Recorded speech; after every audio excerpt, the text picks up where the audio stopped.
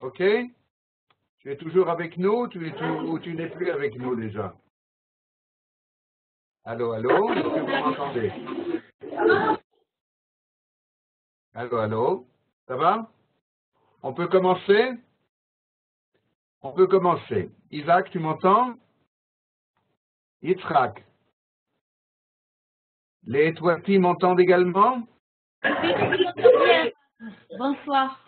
Bonsoir à vous également. Alors, nous avons, euh, dans un des cours précédents, je voudrais faire une espèce de rétrospective. Nous sommes maintenant à peu près au milieu de notre cursus, euh, qui, je le rappelle, euh, est une, on dit en hébreu, te'ima. C'est goûter un peu des notions qui me semblent les plus centrales dans la pensée de Manitou. Et je voudrais maintenant, à peu près au milieu de ce cursus, euh, rappeler euh, quelles sont les étapes que nous avons euh, traversées jusqu'à présent. La première étape était, si je peux dire noblesse oblige, de la centralité de cette notion des toladot, ce que Manitou appelait les engendrements de l'identité d'Israël. Et nous avons parlé longuement de ce mot toladot en hébreu, 13 fois dans le Tanakh, et euh, de euh, la manière dont ce, mot est une, euh, est une espèce de découverte des, des, étapes différentes, des, des créations différentes, des sélections différentes de l'identité qui deviendra finalement l'identité d'Israël. C'est ce que Manitou, au nom de son maître, M. Gordin, appelait euh, l'historiosophie, c'est-à-dire découvrir, et nous allons y revenir bientôt, découvrir que l'histoire euh, a un sens, ce qui n'est pas évident, euh, que l'histoire n'est pas seulement une histoire événementielle, mais qu'elle a des lignes forces qui la, qui la dirigent, qui l'orientent, mais en plus que ce sens de l'histoire est un sens moral. Et euh, là, je voudrais tout de suite, euh, dans cette rétrospective rapide de ce que nous avons appris, après les cours concernant les Toladot, nous sommes passés à euh, cette première approche du texte que nous allons reprendre aujourd'hui de par son importance, j'en dirai tout de suite des, quelques mots supplémentaires. et puis nous avons appris les premières lignes de ce texte dont je vais reparler maintenant.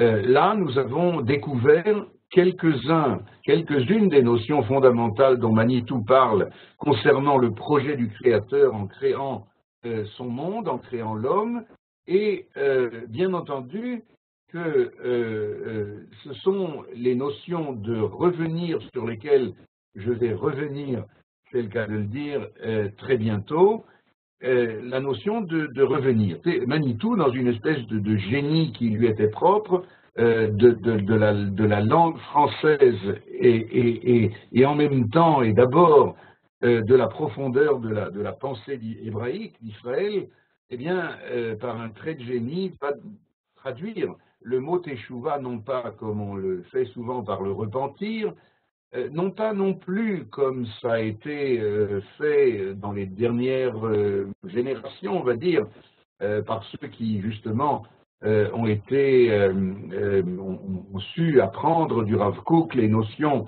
de Teshuvah retour collectif, mais chez Manitou il y a plus, il y a les deux à la fois et plus encore, et c'est ce qu'il appellera le revenir. On va, en reparler maintenant. Mais entre-temps, nous avons fait une petite interruption suite à la fête de Hanouka et nous avons étudié un texte euh, intéressant, je crois, euh, de Manitou concernant euh, l'événement d'ailleurs qui, va donner lieu la semaine qui, qui vient, cette semaine, pas plus tard, je crois que mardi, le 10 Tevet, c'est-à-dire l'anniversaire, entre autres, euh, la commémoration de la traduction de la Bible en grec, la traduction dite des Septante.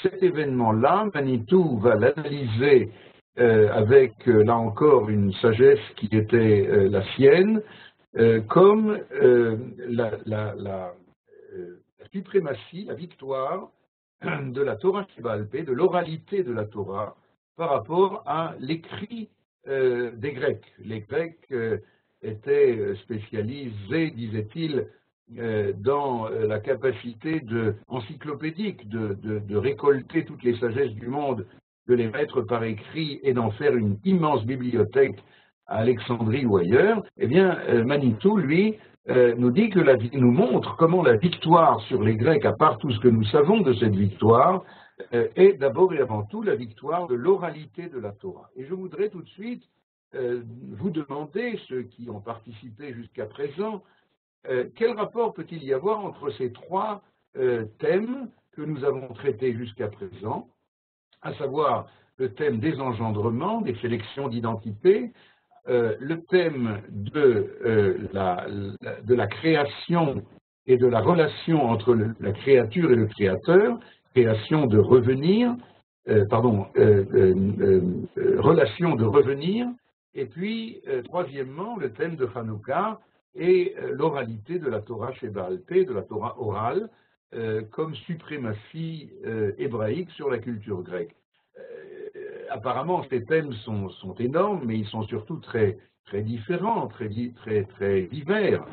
Et pourtant, euh, il y a une ligne force qui va relier les trois. Est-ce que euh, M. Etouati ou quelqu'un d'autre voudrait essayer de nous donner une réponse Quel est le lien entre ces trois euh, notions?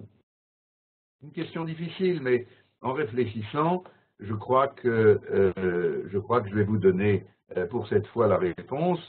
Euh, la réponse, c'est un thème qui est récurrent chez Manitou euh, en permanence. C'est le thème de la relation personnelle du Créateur à la créature, du Créateur à Israël en particulier. Le Manitou, on, va y revenir maintenant à propos du fondement de, l'éthique, des fondements de la morale chez Manitou. Eh bien, Manitou enseigne que euh, le, Dieu chez les nations, euh, d'ailleurs aussi euh, les fondements de la morale chez les nations, ce sont des fondements qui sont impersonnels.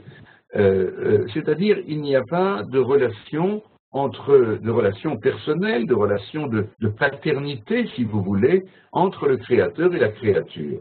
Eh bien, Israël est le, le, peuple au monde qui va révéler euh, cette dimension de euh, paternité, on a l'habitude de dire Avinu Malkenu, avant d'être Malkenu, celui qui est, euh, celui qui est le juge suprême, eh bien, il est d'abord Avinu, il est celui qui va donner la loi à Israël, une loi qui soit à même de, favoriser, de développer euh, non pas de condamner euh, pour l'irrespect de la loi, mais euh, qui va permettre de développer la vie, mais une vie qui soit vouée à la réalisation du projet du Créateur. Tout cela sont des thèmes que nous allons maintenant reprendre, bien qu'on les a un tout petit peu abordés, mais je crois que ce texte, dont je vais maintenant reparler pour résumer rapidement ce que nous avons appris jusqu'à présent et continuer dans la deuxième partie de ce euh, de ce texte merveilleux. Donc retenez cela simplement comme clé euh, de lecture, comme clé d'étude, comme clé de réflexion. Euh, nous retrouverons cette notion de relation personnelle entre Dieu et les hommes, entre Dieu et Israël tout particulièrement, bien sûr. Cette notion est une notion qui est présente pratiquement dans tous les sujets dont Manitou parlait. Euh, je ne sais plus si j'ai eu l'occasion de vous euh, raconter euh, que de temps en temps, Manitou nous rappelait qu'il avait appris un petit peu avec celui que on considère comme le fondateur du structuralisme, à savoir Claude Lévi-Strauss. Et il a suivi chez lui des cours, et il, en est ressorti, comment dire, je, garde la, la, responsabilité de ce terme, mais enfin, euh, il en est ressorti euh, euh, horrifié, atterré de la capacité qu'a une certaine philosophie de finalement d'éradiquer la relation personnelle de l'homme, l'homme ne devenant plus qu'un un, objet à l'intérieur d'une structure qui le dépasse totalement.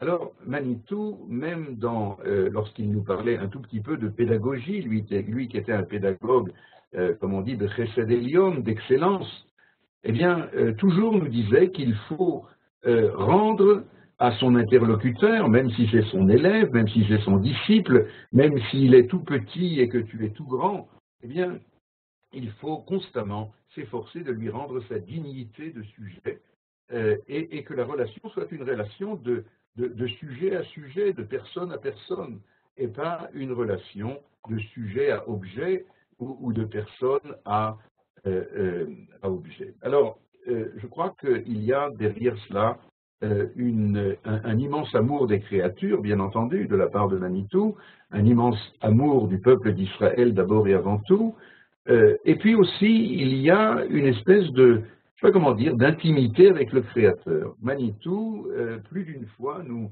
euh, nous, nous, nous, stupéfiait quand, par exemple, il, il, donnait un enseignement. Alors, quand on lui demandait les sources, en général, il, il citait ses sources, et puis parfois, assez rarement, mais de temps en temps, il réfléchissait une minute et puis il disait, ben, je sais pas, peut-être ça vient de moi. Et euh, j'ai retrouvé d'ailleurs ces notions-là chez les plus grands d'Israël, qui effectivement sont dans une telle intimité avec le Créateur euh, que, euh, eh bien, ils sont capables d'être comme, comme on dit, Kemayan Amid Gaber, comme une source jaillissante d'enseignement.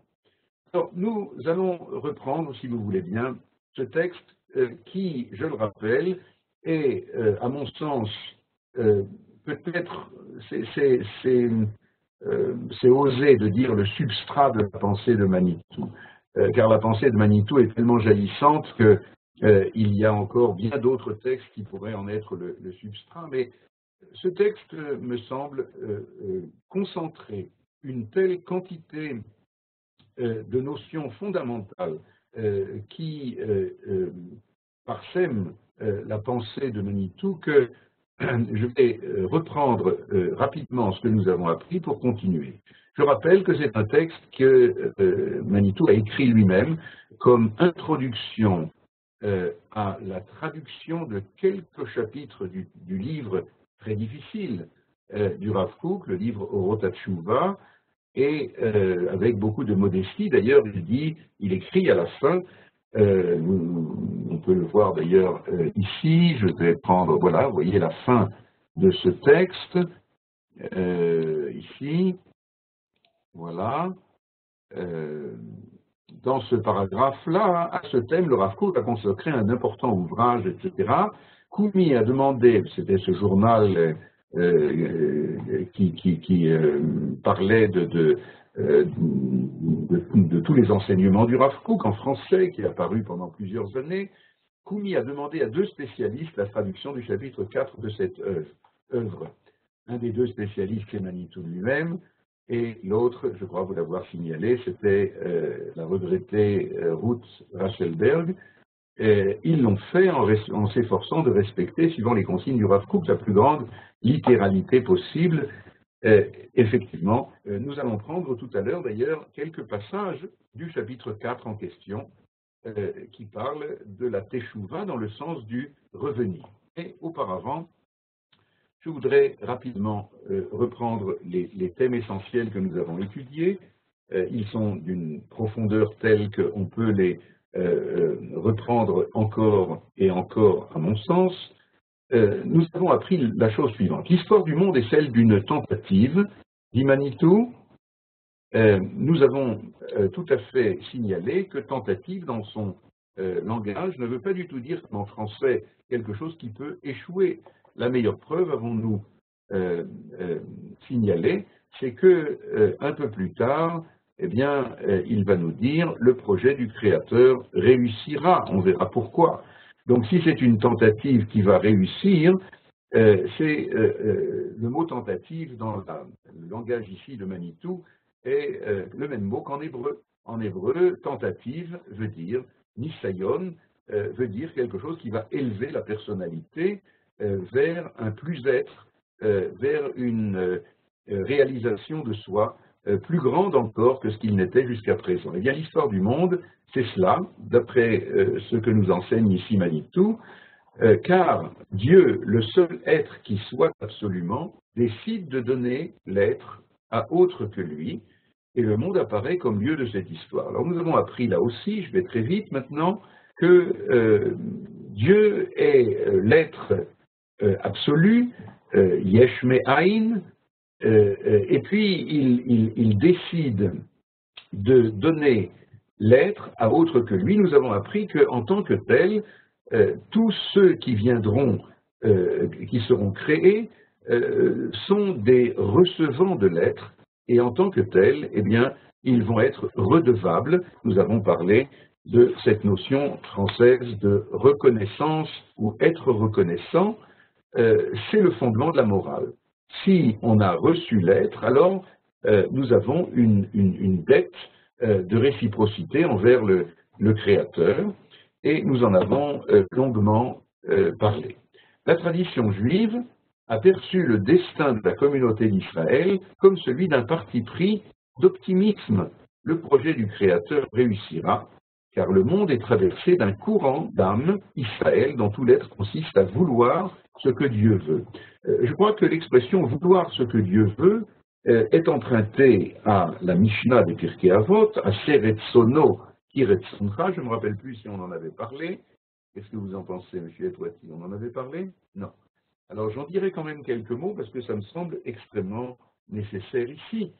Euh, euh, Kirsonka fait son projet, sa volonté, comme ta volonté,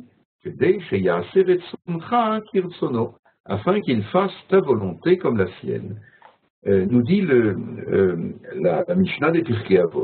Alors, euh, évidemment que cela implique une identité du vouloir de l'homme avec le vouloir de Dieu. en général, l'homme qui est occupé à toutes sortes de choses qu'il occupe, eh bien, a un vouloir qui est différent.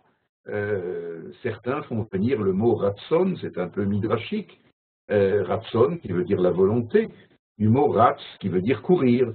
Euh, dis-moi euh, vers quoi tu cours et je te dirai ce que tu veux, évidemment.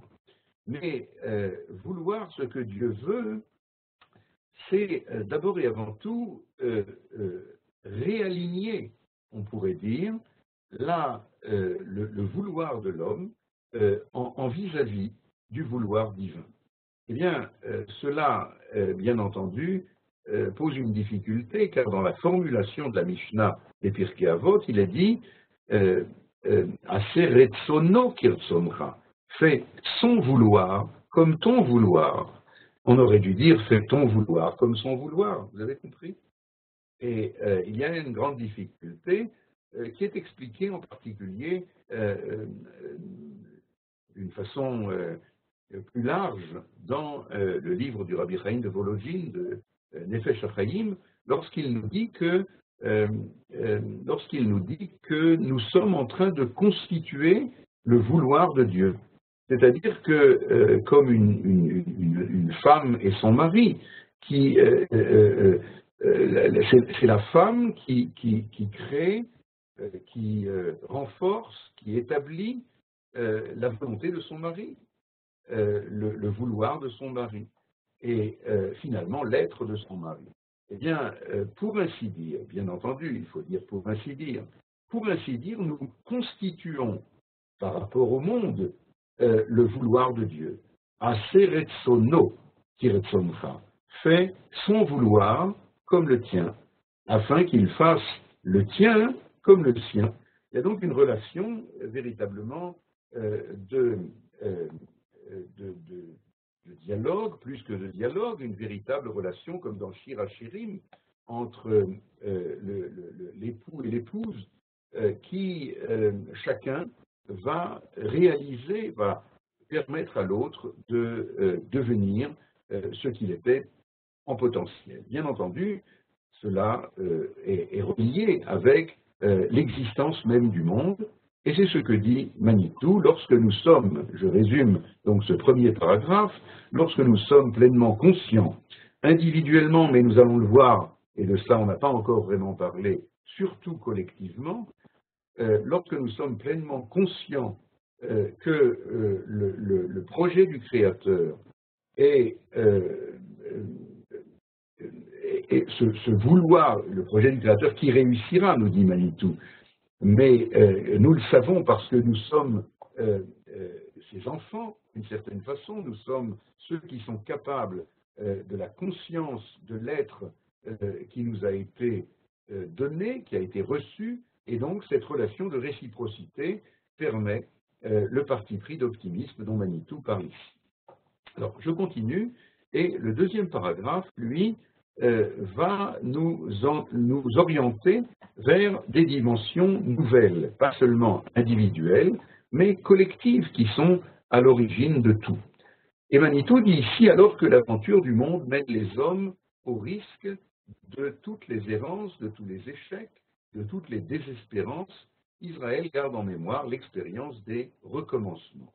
Eh bien, euh, nous avons longuement parlé de cette notion de recommencement, qui est une notion tout à fait, euh, euh, tout à fait étonnante dans un premier temps. On aurait pu se dire qu'on garde l'expérience des commencements et pas des recommencements. Eh bien, je crois avoir expliqué dans le cours précédent sur ce thème que c'est cela, le secret des origines dont il parle dans la phrase suivante, euh, cette mémoire du secret des origines lui donne la force du revenir. Car nous avons appris que euh, le, monde n'est pas un monde de perfection pour avoir un commencement. Il est un monde de perfectionnement, c'est-à-dire qui est établi sur une base d'échec et de recommencement.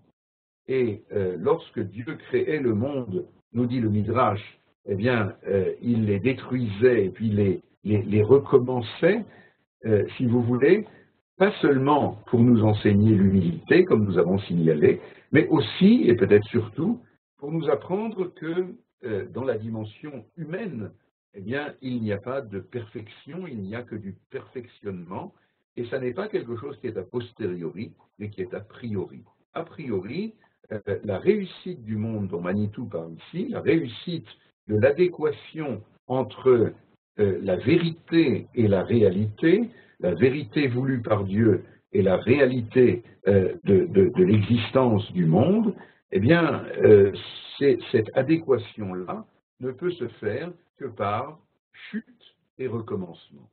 Nous avons parlé de cela beaucoup, je crois, par rapport, par exemple, à euh, l'avènement de la royauté de David, l'avènement de la royauté de David qui est constamment perçu par les sages comme la soukhat David Anophelet, la soukha de David qui tombe et qui se relève. Eh bien, euh, cette euh, royauté de David, qui est finalement le secret du messianisme d'Israël, euh, euh, ne peut se faire que de cette façon-là. Rappelez-vous de ce texte, je crois l'avoir cité, du Talmud, euh, où on appelle le Mashiach Bar Naflé, le fils des chutes, et le produit des chutes, si vous voulez. Eh bien, il n'est évidemment pas le produit des chutes. Manitou dirait, il est le produit des recommencements. C'est-à-dire d'une situation dans laquelle on a pris les leçons euh, de la chute pour pouvoir euh, rétablir, euh, comme par exemple, je ne sais plus si on a donné cet exemple-là, mais l'exemple de Chet, l'exemple de celui qui va recommencer l'histoire de l'humanité après l'échec le plus, retentissant, le plus, le plus, le plus insupportable, peut-être pour une conscience morale, qui est l'échec de Caïn euh, à la première génération de l'humanité, qui va euh, assassiner son père. Euh, et, c'est là, sans aucun doute, par la naissance de Chet, le troisième fils de Adam et Ève, que le monde va recommencer dans une perspective messianique. Eh bien, cela et euh, bien clôturer ce rapide euh, résumé que nous, des choses que nous avons appris pour euh, pouvoir maintenant avancer un petit peu dans les notions, encore une fois très centrales, qui sont dans ce petit texte très, très dense. Manitou dit cette mémoire du secret des origines lui donne la force du, donne à Israël la force du revenir en hébreu teshuva. Alors qu'est-ce que c'est que le revenir et qu'est-ce que ce mot vient recouvrir? C'est ce que nous allons découvrir dans le paragraphe suivant que nous n'avons pas, à ma connaissance, euh, lu ensemble jusqu'à présent, et euh, je voudrais euh, en parler maintenant plus abondamment. Peut-être avant cela, je voudrais je voudrais ajouter quelque chose que nous n'avons pas appris concernant le, parti pris d'optimisme, concernant la relation personnelle du jugement divin dont Manitou parle euh, dans, euh, son, dans, ses deux premiers paragraphes. Dans un texte qui s'appelle d'ailleurs la Teshuvah, un texte qui figure dans le petit livre Kimitzion que vous connaissez, un texte qui date de 1994 d'ailleurs, eh bien, Manitou dit qu'il y a euh, euh, deux obstacles euh, qui empêchent la, pensée naturelle d'adhérer à la notion de Teshuvah. La, philosophie, on va dire, ne peut pas penser la Teshuvah, et, cela, il y a deux, à cela, il y a deux raisons. La première raison, c'est que euh, il y a une raison d'ordre moral d'abord. Je vais essayer euh, de vous le dire dans mes mots à moi, et puis je vous lirai après une phrase de Manitou qui résume tout cela. Euh, Manitou explique qu'il y a dans la pensée naturelle, dans la pensée philosophique, le droit, c'est le droit. Dans le droit gréco-romain, si vous voulez, là encore cette notion de impersonnalité du droit, impersonnalité du jugement, eh bien, euh, il est euh, injuste de pardonner, par exemple, car le, pardon fait fi de la loi. Et, si le pardon fait fi de la loi, eh bien, euh, pourquoi la loi existe? Et par conséquent, la loi est dure, mais c'est la loi. Et il n'y a pas de relation autre que la loi d'un côté la vie de l'autre et euh, la loi condamne la vie alors que la vie se euh, défile de la loi. Euh, voilà, ce sont mes mots à moi, ce ne sont pas ceux de Manitou, mais je crois que c'est comme cela que j'ai un peu mieux compris les choses, jusqu'à ce que j'arrive d'ailleurs au livre de Yona, de Jonas, qui est un livre extrêmement, extrêmement important, justement pour ce sujet-là, car Yona, sans développer cela plus, est le prophète de la loi, le prophète de la justice. Mais lui, puisque c'est un livre euh, et un prophète divin d'Israël, eh bien, et pas un philosophe, eh bien, euh, Dieu va, si je peux dire, le prendre en, euh, lui, faire subir toute une série d'événements qui vont petit à petit, mais vraiment petit à petit, lui faire comprendre à lui qui incarne euh, une donnée qui est tout à fait euh, rigoureuse, qui est l'importance de la loi divine pour le monde, eh bien, le projet du Créateur est, un projet rigoureux, mais en même temps, c'est un projet de vie. Et euh, c'est un projet personnel, encore une fois, et pas une loi impersonnelle qui juge le monde sans aucune possibilité de pardon. Alors Manitou termine euh, cette première, ce, qu'il appelle le premier obstacle à la pensée naturelle pour adhérer à la notion de Teshuvah, il termine en disant euh, Ce qui manque, c'est de savoir que la loi est l'expression de la volonté de quelqu'un, celui qui a voulu le monde et les lois de son fonctionnement. Il y a donc une relation non pas de, de juge, mais une relation de vouloir. Et c'est pour cela que ce mot revient euh, constamment euh, chez Manitou. Euh, il, a, il, a, voulu que le monde existe, il a voulu qu'Israël soit celui qui réalise l'être qui veut ce que Dieu veut. C'est donc au niveau du ratson, au niveau de la volonté, et pas au niveau de celui qui juge et celui qui est jugé avec une relation impersonnelle. Comme nous le disions tout à l'heure, c'est la relation de Avinu, Malkenu. D'abord Avinu, alors il peut être Malkenu. Il doit être Malkenu. Ça, c'est le premier obstacle à euh, la euh, Teshuvah, à la compréhension de la Teshuvah chez les nations. Euh, le deuxième obstacle est plutôt d'ordre métaphysique, nous dit Manitou, c'est l'obstacle de comprendre, enfin de ne pas comprendre, la possibilité d'une réversibilité du temps. Le temps, dans la pensée hébraïque, n'est pas inexorablement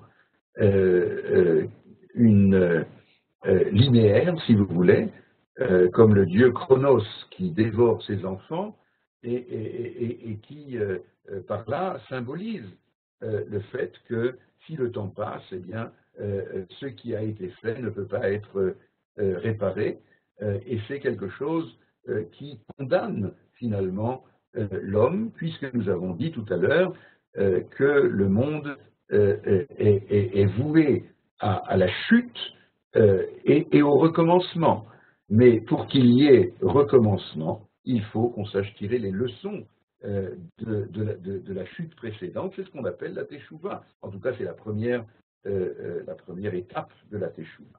Eh bien, chez les nations, la philosophie, on va dire, ne sont pas à même de comprendre, d'adhérer, de découvrir cette notion de réversibilité du temps euh, dont Manitou parle abondamment, c'est le fameux Vav conversif de Vayehi, Veaya, je crois qu'on en a parlé, euh, euh, c'est pas seulement Haya, il était, mais c'est Vayehi, quelque chose qui était de l'ordre du futur, qui est converti en passé, ça c'est une vraie catastrophe, mais c'est aussi le contraire.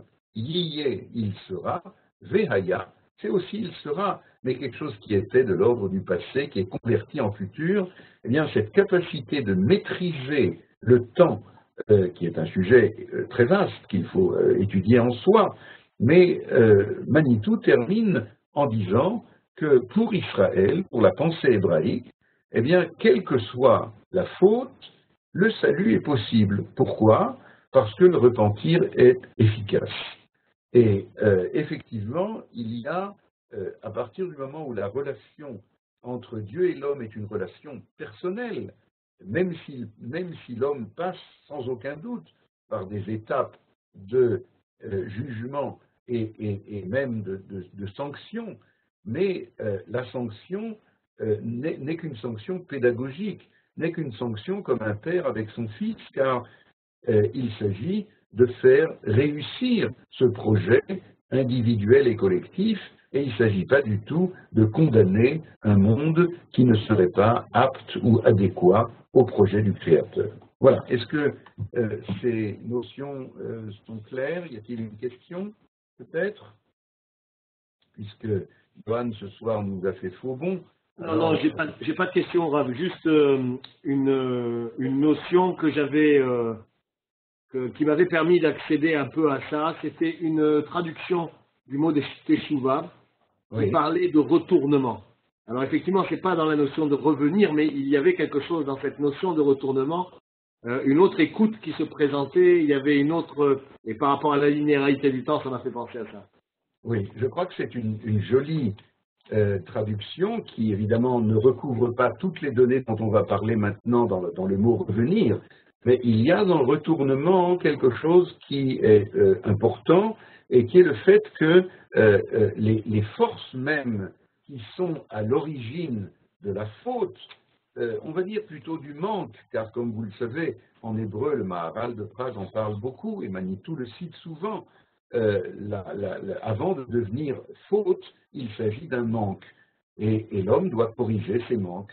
Alors, euh, il a euh, euh, des, forces intérieures qui l'habitent, qui l'orientent dans un sens ou dans l'autre, et parfois, il faut qu'il soit à même de prendre ses forces à bras le corps et de les retourner, comme vous venez de le dire, vers une direction, c'est Veraya, vers une direction qui soit positive, qui soit messianique, qui soit constructive, et pas dans l'autre sens. Donc sans aucun doute, ça ajoute quelque chose, mais nous allons voir que le mot revenir, lui, va être tellement avoir une telle globalité d'enseignement que c'est vraiment le génie de Manitou qui nous l'apprend. Et je voudrais tout de suite maintenant passer à la suite de, cette, euh, euh, de ce texte, et c'est là que va se révéler la double dimension collective et individuelle de la Teshuvah, qui donnera naissance à ce mot revenir. Regardez. Lorsqu'il y a faute dans les péripéties individuelles, je signale le mot individuel, du métier d'homme, alors Teshuvah signifie repentir, comme on a l'habitude. Mais lorsqu'il y a errance dans la poursuite collective du projet divin, Teshuva signifie retour aux voies de l'origine. D'où est-ce que Manitou a appris cela? Il n'y a aucun doute dans la paracha de Nitzavim, chapitre 30 du livre d'Evarim, de, de Théronome. Eh bien, il y a une dix que l'on appelle la paracha de la Teshuvah d'ailleurs, et ces dix versets euh, euh, sont stupéfiants parce qu'ils passent dans le même verset, à l'intérieur du même verset, d'une signification collective de retour. Vous vous rappelez de ces versets qui disent même si euh, tu te trouves aux confins de la terre, je te ramènerai, Chouva, je te ramènerai vers le pays, etc., etc. Et puis, sans prévenir, sans crier gare, le même verset va nous dire, et revenant, eh bien, tu vas retrouver, euh, euh, tu vas retrouver ton, ton identité propre, tu vas retrouver ta, ta tu, vas sortir de l'aliénation dont parle beaucoup le, le Maharal de Prague, euh, euh, de l'aliénation dans, dans, laquelle tu étais. Alors, l'aliénation, c'est un mot qui, est quand même commode, je pense, parce que euh, ça fait référence, un, à une dimension collective, bien sûr. on est chez les autres accroché, comme disait Manitou, à l'histoire des autres, et, donc on est tenu, ou, on, sent la nécessité de renoncer euh, à, une bonne partie de, l'identité hébraïque qui est la nôtre. Regardez, par exemple, les Juifs de la Megillat Esther, le livre par excellence qui nous parle de la situation d'exil, eh bien, euh, on, a souvent euh, remarqué qu'ils sont appelés là-bas à Yehudim. C'est le seul livre d'ailleurs où systématiquement ils sont appelés Yehudim. Manitou nous disait que notre appellation euh, nationale, c'est l'être hébreu. Euh, Abraham a ivri, Abraham l'hébreu, et, nous sommes descendants de cet hébraïsme-là, même si euh, nous avons longtemps, trop longtemps, été accrochés à une histoire qui n'est pas la nôtre, leurs ancêtres, les Gaulois et d'autres, eh bien, notre nom d'exil, c'est Yehudim. Euh, il est très curieux d'ailleurs que dans certaines euh, langues étrangères, eh bien, euh, on, nous appelle juifs, ou bien yudé, ou bien jewish, mais il reste encore quelques langues, comme le, russe. En russe, on nous appelle hébrei, hébrei, En italien également, hébreo. Donc, il, y a cette espèce d'hésitation de, des, nations par rapport à, l'identité d'Israël Est-ce qu'ils sont euh, euh, encore porteurs euh, de cette identité hébraïque originelle et, qui reviendra et qui en, résurrection le moment venu, ou bien est-ce qu'ils sont déjà définitivement, comme pensait le roi Assuérus lorsqu'il a fait les festins où se pressaient les Juifs de Suse, la capitale, eh bien, euh, Suse, la capitale. Vous entendez Shushan Habira. Tout au long du texte de la Megillat Esther, on entend Shushan Habira, car effectivement, pour les Juifs euh, de, l'époque, la capitale, c'est Suse, Jérusalem, euh, est détruite et on n'y pense même plus. Eh bien, euh, je crois que c'est ce que Manitou veut dire lorsqu'il dit ici, quand il y a errance dans la poursuite collective du projet divin, Teshuvah signifie retour aux voies de l'origine. Je crois que le point commun, là encore, entre ce qu'il appelle les péripéties individuelles du métier d'homme, c'est-à-dire le repentir, et euh, la dimension collective de la Teshuvah, retour, le point commun entre les deux, c'est bien le revenir. Euh, il y a repentir individuellement, il y a retour collectivement, mais dans les deux cas, il y a eu éloignement. Je, suis obligé de parler hébreu en français. Il y a eu euh, un euh, éloignement à partir d'une situation d'origine, d'une authenticité d'origine, et, l'authenticité d'origine est oubliée aussi bien du point de vue individuel, ça s'appelle s'appelle la faute, euh, on, connaît le principe que Avera goreret Avera. Qu'est-ce que ça veut dire? Pourquoi est-ce que celui qui commet une faute, eh bien, sera amené naturellement, à moins qu'il entrave ce naturel-là, sera amené naturellement à en faire une autre? Euh, Je crois que le point euh, essentiel, c'est celui-là, et c'est ce qu'explique le Rav justement dans Orotat dans de très nombreux chapitres, en particulier dans le chapitre 12 de Orotat on va voir maintenant quelques phrases du chapitre 4 traduites par Manitou, mais euh, la dimension essentielle de la, la conséquence essentielle de la faute, c'est l'éloignement par rapport à la source d'authenticité. Alors lorsqu'on est éloigné par rapport à sa propre authenticité, eh bien on est amené à s'éloigner encore. Et euh, euh, c'est la raison pour laquelle Avera Goreret Avera. Soit dit en passant, mitzvah goreret mitzvah. Une mitzvah entraîne une autre mitzvah. Et pourquoi donc euh, Si on considère les choses comme une espèce de comportement pieux, plus ou moins technique ou, robotique, eh bien, il n'y a aucune raison pour laquelle une mitzvah puisse entraîner une autre. la raison, c'est la, réciproque de ce qu'on vient de dire. Une mitzvah vient euh, a, pour, euh, euh, conséquence existentielle de déchirer, je traduis de l'hébreu là encore, de déchirer toutes sortes d'écrans entre l'homme et, le Créateur, a pour objectif, a pour conséquence de rapprocher, de, rendre beaucoup plus intime la relation de l'homme avec le Créateur. Et par conséquent, euh, il sera amené à euh, euh, multiplier les, actions qui sont conformes au projet du Créateur lui-même, puisqu'il en est si proche. Voilà. Alors, ce que je voudrais essayer maintenant, je vais lire donc le paragraphe jusqu'au bout, lorsque cette force du revenir, donc on a compris que le revenir est une espèce de synthèse entre la dimension individuelle du repentir et la dimension collective du retour, euh, ces dimensions dont je disais tout à l'heure que dans la paracha de, Nitzavim, euh, elles, comme on dit, euh, une fois on parle de cela, une fois on parle de cela, et on repasse de l'un à l'autre. Cette force du revenir est le vouloir vivre du monde. C'est-à-dire qu'il y a dans le monde, tel que Dieu l'a créé, euh, le monde n'est pas livré à lui-même. Le monde n'est pas livré euh, comme une, euh, je ne sais pas moi, une, balle qui, va suivre, qui, a été lancée, et puis on ne sait pas très bien quand est-ce qu'elle va s'arrêter, et pas du tout. Il y a un vouloir divin dans le monde, ce que Manitou appelait tout à l'heure l'âme du monde, eh bien, euh, l'âme du monde dont, Israël est le porteur, eh bien, il faut, dit-il, l'assumer, l'exprimer, lui donner effectivité et pouvoir, est le devoir personnel de chaque juif et le destin collectif de la communauté d'Israël pour le salut du monde, c'est-à-dire l'accomplissement du projet du Créateur. Voilà.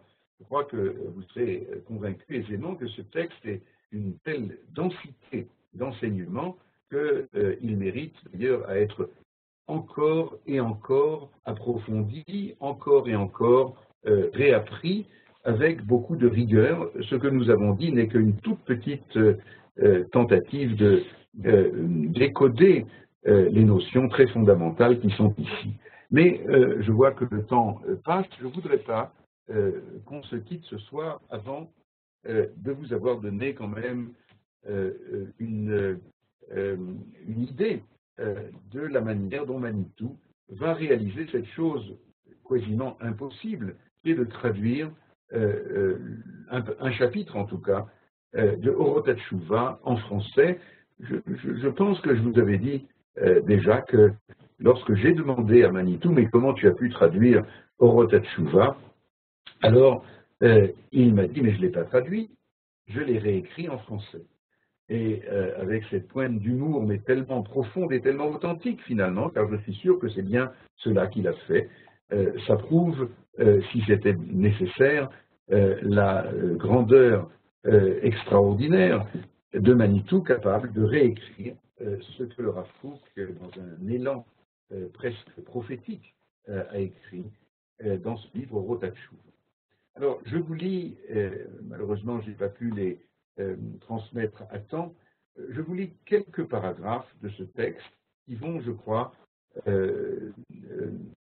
qui vont, je crois, illuminer ce que nous avons appris ce soir.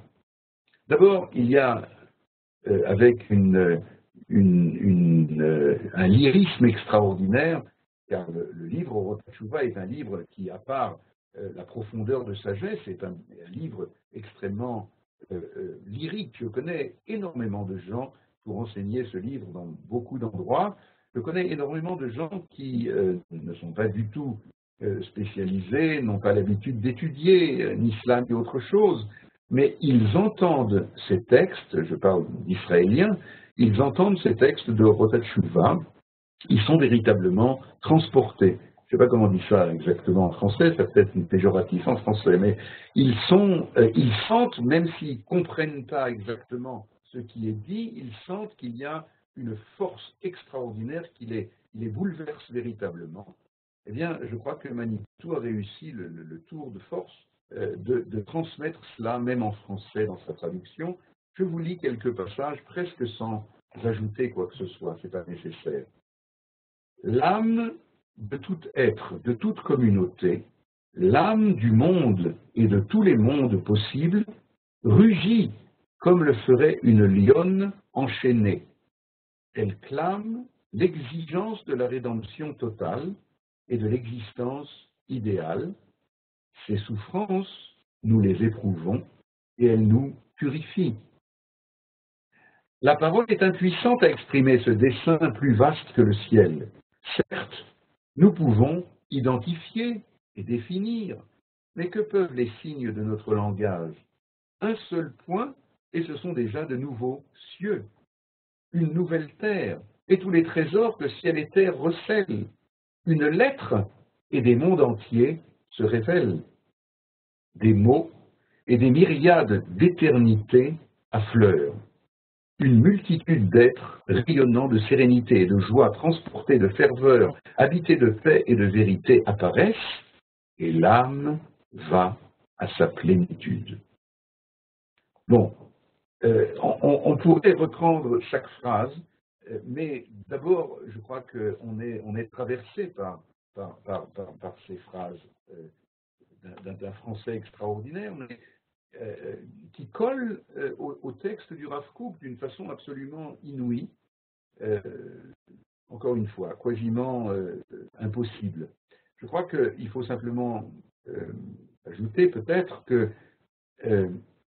il y a dans ces phrases que je viens de lire une des, un des enseignements que nous avons appris précédemment, c'est-à-dire que dès la création du monde, eh bien, il y a une espèce de de rupture. Euh, je vous rappelle que Manitou faisait euh, comprendre la notion même de création, Beria, à partir du mot bar, qui veut dire extérieur, comme chayot bar, des bêtes sauvages, eh bien, il y a une rupture, il y a une extériorité de la créature par rapport au créateur.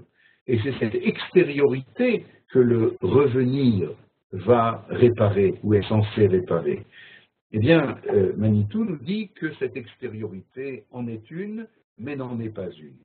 Car euh, l'âme du monde, ce qu'il appelle l'âme du monde, euh, va accompagner l'exil de cette créature qui était en dedans et qui est maintenant en dehors, qui était extrêmement intime avec le Créateur et qui devient maintenant quasiment indépendante de lui avec toute la nécessité de cette responsabilité très grande que Dieu a voulu, mais en même temps avec tous les avatars d'une autonomie qui risque d'être également un antagonisme. Alors, euh, je crois que c'est important de comprendre cela parce que euh, euh, c'est la manière que Dieu a voulu, de, un peu comme un père qui accompagne son enfant devenant petit à petit adulte, petit à petit autonome, mais pourtant ne, quittant jamais, ne rompant jamais ce lien vital, puisque euh, jusqu'au jour où l'enfant, le, jeune, l'adolescent euh, se rendra compte que c'est ce lien vital qui euh, véritablement lui permet l'existence.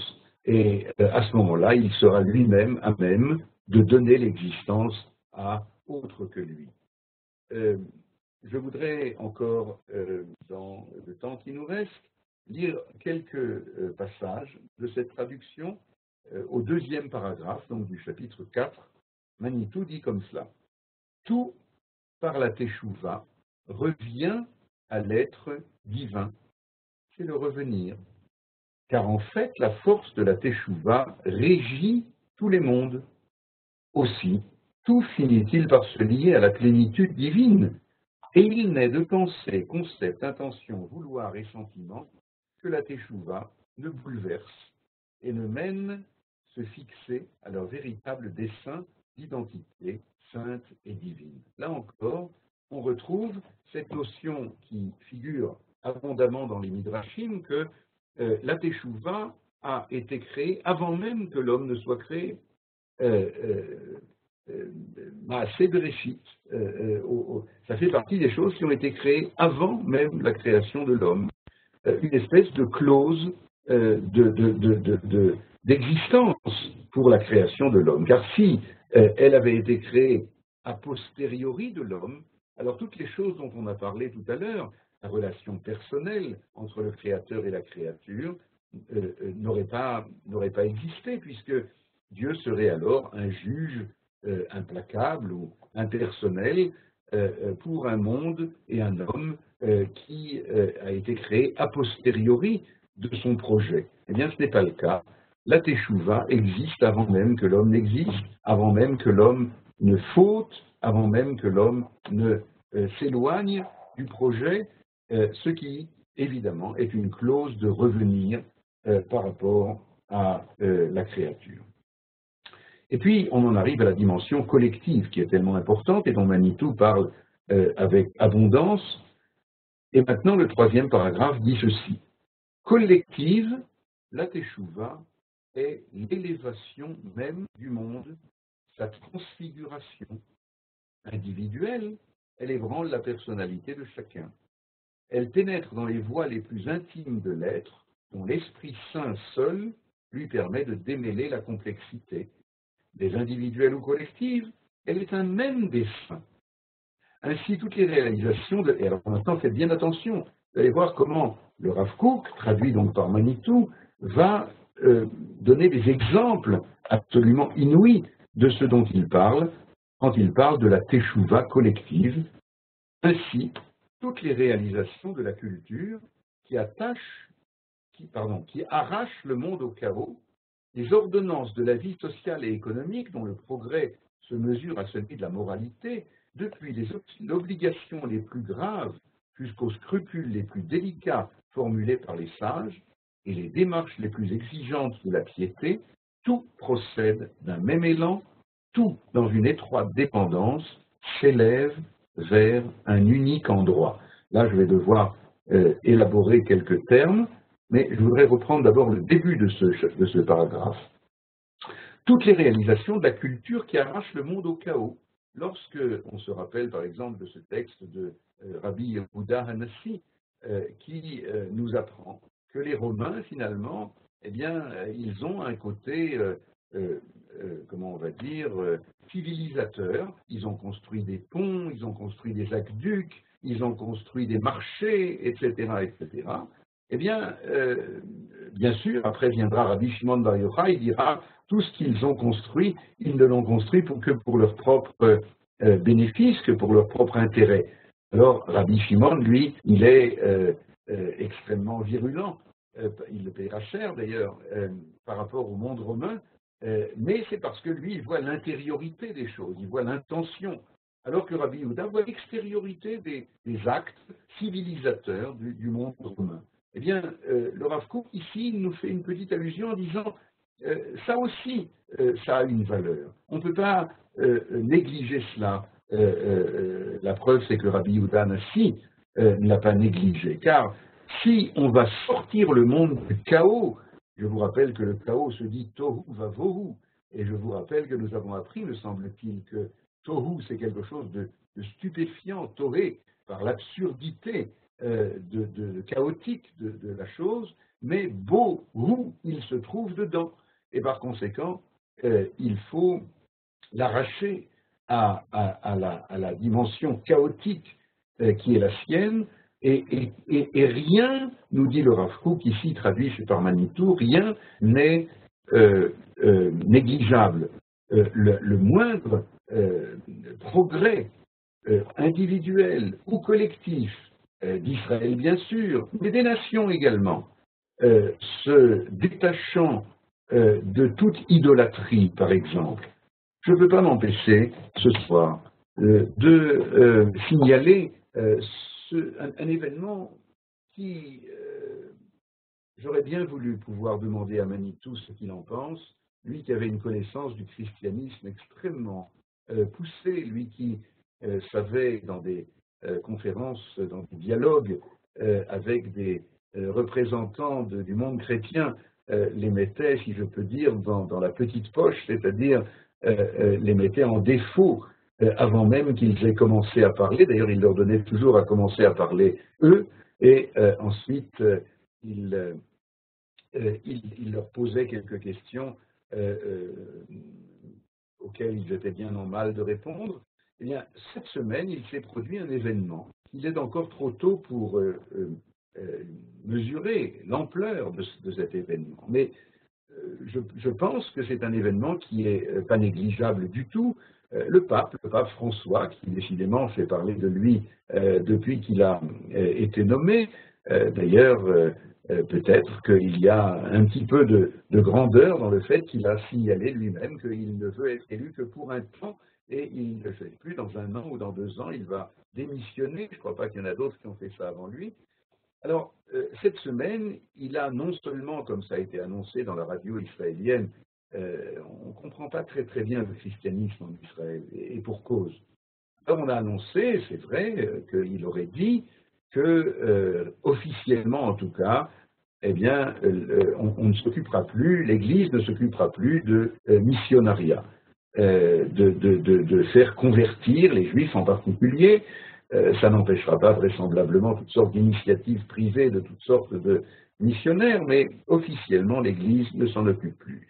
Mais il y a plus, il y a beaucoup plus, semble-t-il, dans cette, euh, dans ce, bien que comme d'habitude les paroles sont un petit peu euh, euh, à double sens, mais il semble qu'il aurait dit que Dieu ne peut pas avoir trahi sa propre alliance avec le peuple d'Israël. Ce qui remet en question les fondements, tous les dogmes les plus fondamentaux du christianisme puisque Vérus Israël, Israël ayant euh, euh, échoué euh, lamentablement dans son projet, eh bien c'est maintenant les chrétiens dans une dimension universelle qui vont réaliser, c'est eux le véritable Israël qui ont pris la place, qui ont supplanté l'Israël national qui était aux origines maintenant, disait-il, c'est un Israël, comment on va dire, virtuel, universel, euh, euh, religieux et non plus euh, national. Vous, connaissez tout cela. Eh bien, il semble qu'il aurait dit maintenant quelque chose de fondamentalement différent. il est trop tôt pour savoir si ces, paroles à double sens ne cachent pas quelque chose d'autre, mais j'ai voulu relier cela parce que si c'est comme je viens de le dire, s'il se, vérifie au cours des années à venir qu'il y a un changement véritable, Manitou en parlait. Manitou disait que va venir un temps qui n'est pas très loin euh, où, l'Église en tant que telle va s'effondrer et euh, les communautés euh, autour de l'Église deviendront la diaspora d'Israël. C'est assez ahurissant d'y penser, mais on voit que les choses, finalement, petit à petit, sont en train de se réaliser sous nos yeux. Eh bien, c'est peut-être à cela qu'il pensait, et nous allons bientôt terminer, lorsqu'il disait toutes les réalisations de la culture qui arrachent le monde au chaos arracher le monde au chaos, c'est l'arracher d'abord et avant tout de l'idolâtrie qui euh, encore euh, euh, traverse le, monde des hommes, les ordonnances de la vie sociale et économique. eh bien, il, y a dans cet enseignement du Rav traduit par Manitou une, une conscience aiguë du fait que tout procède d'un même élan euh, qui accompagne, comme on le disait tout à l'heure, le monde depuis sa création, et tout cela s'élève vers un unique endroit. Alors, euh, ça c'est une citation entre guillemets, il n'y a pas la source, mais la source se trouve dans le Zohar, à Kadosh, euh, les Salik, les Chad Atra, il, y a un Dieu unique, et par conséquent, malgré la multiplicité des divergences humaines, des, des, euh, disait euh, des équations personnelles euh, que l'on trouve dans la dimension universelle, tout finalement est récupéré à l'intérieur du projet divin et tout s'élève vers un unique endroit.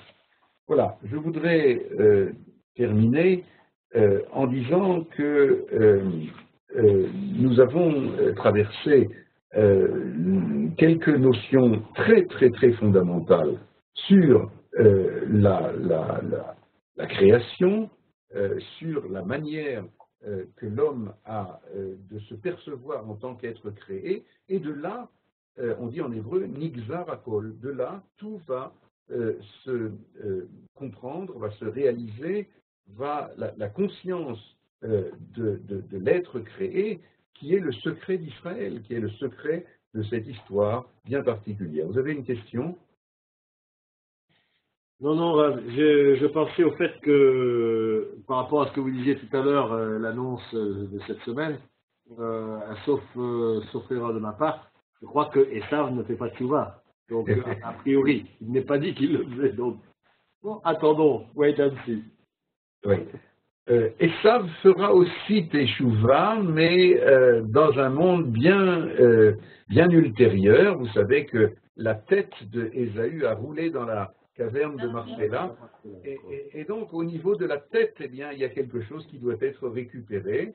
Euh, bon, alors, euh, effectivement, vous savez, euh, on, m'a encore demandé ces jours-ci, mais comment est-ce que Manitou parlait tellement du christianisme et tout ça? Un autre problème, c'est l'islam.